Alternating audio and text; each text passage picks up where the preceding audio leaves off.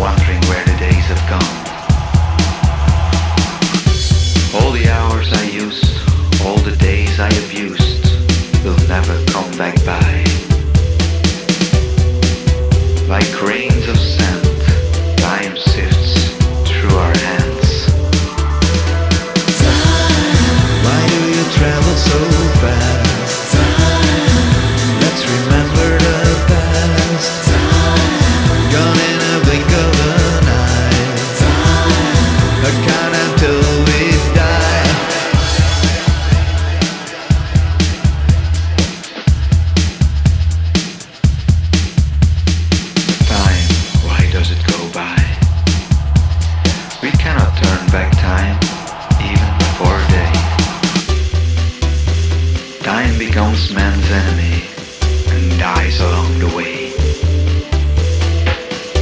And eventually,